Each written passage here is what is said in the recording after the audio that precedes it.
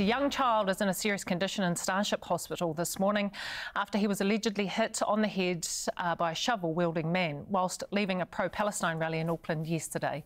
Police say they have arrested a man who had been receiving the support of mental health services. So, for here, uh, here for more is our political panel of Greens co leader Marama Davidson and ACT's Brooke Van Velden. Morena, kia korua. Morena.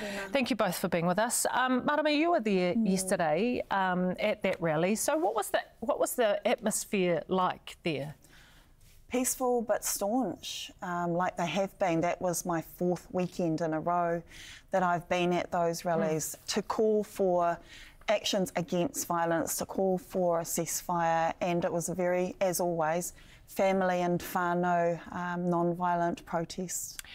We have heard about this young child that was hurt uh, at the rally yesterday, mm. and you know, I mean, I guess the thing about this is, is uh, this is something that is against the harming of children Absolutely. and of families and of innocent people. And here we have a young child that's been hurt. Yeah. And we're not conflating the two, right, you know, with what happened with that child and the rally itself. But is there concerns around safety? Absolutely. Uh, as soon as I found out, I was devastated about any anybody being hurt, but a young a young baby, mm.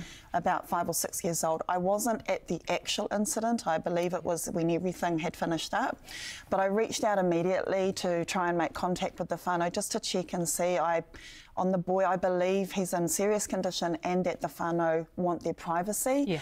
Um, but all protests, all non-violent protests should be safe for all families to attend. Um, people should not have to worry about their children being harmed in any way. I know the organisers have gone above and beyond.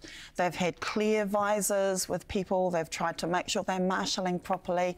They are devastated that this could happen to anybody and I share in that devastation um, and the call for us to always be safe and collective as well. Yeah, and on and on that, we you know our thoughts are with the family and with that young child mm. as well. And in terms of those rallies, Brooke, you know, obviously this is a um, something that has a lot of emotion in it for for people. As a country, are we responding in the best way that we can, do you think?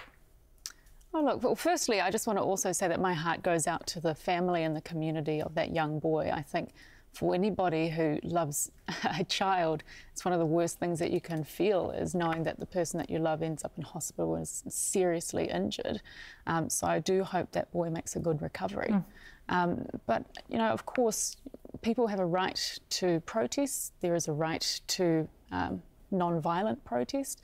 And I think that's really important. There's going to be a lot of issues, especially where it comes to Israel and Palestinian mm. conflict. I think it's really important for us uh, to ensure that everybody feels like they have a right to their opinion, uh, but we're not escalating. Uh, so people are actually safe. You know, our Palestinian community is safe, our Israeli community is safe, our Jewish community is safe, our Muslim community is safe everybody has a right to their opinion, but let's just make sure that we're not escalating it. Mm. Uh, but I also do want to uh, state when, when it comes to this specific incident, what I read in the news this morning was that it's not necessarily attached to this particular no, that's protest. Right. And, and we want to make yeah. that clear. Mm. Yeah. So then, I, I, guess I'll go back to my initial uh, question, which was around whether the government, and I know we don't we don't have one in place at this point in time but are we responding in the best way possible to the situation that is happening overseas? And I'll, and I'll, and I'll throw this at the both of you, but Brooke, I'll start with you on that.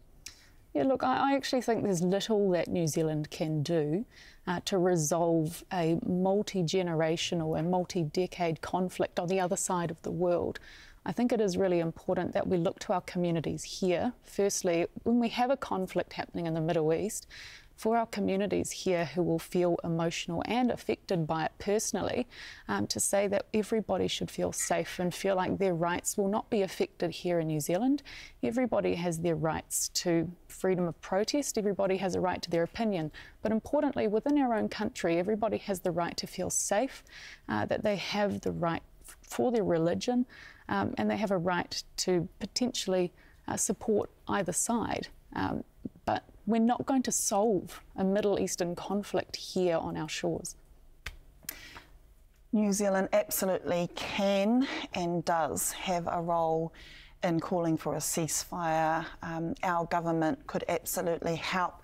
It's just about humanity, I think, Jenny May. There is just no defence of any children, of any innocence being harmed. Um, and my vision, I think, that a government, that all governments could put pressure on, particularly the US, the UK, and Israel, is for our Jewish and Palestinian mokopuna to be able to live peacefully, to be able to share their lands peacefully together. There is room for Jerusalem to be admired and protected by everybody. And I think governments absolutely do have a role to, in the first instance, stop the violence, stop all the violence, all the killing, because that is the only way we will then have an enduring solution, which includes getting out of occupied territories that are illegal, so that generations of mokopuna can actually live in peace. Um, uh, we've run out of time, and there was so much more to cover. Um, I just wonder, Brooke, whether we, bef- just before we go, APEC, we won't uh, have anybody going there. We had uh, Christopher Luxon join us just earlier, saying that they probably won't have a government formed by the time he needs to be there. Is it a shame that we're not there? And, uh, uh, my understanding is this potentially is the first time we've never had a leader attend APEC.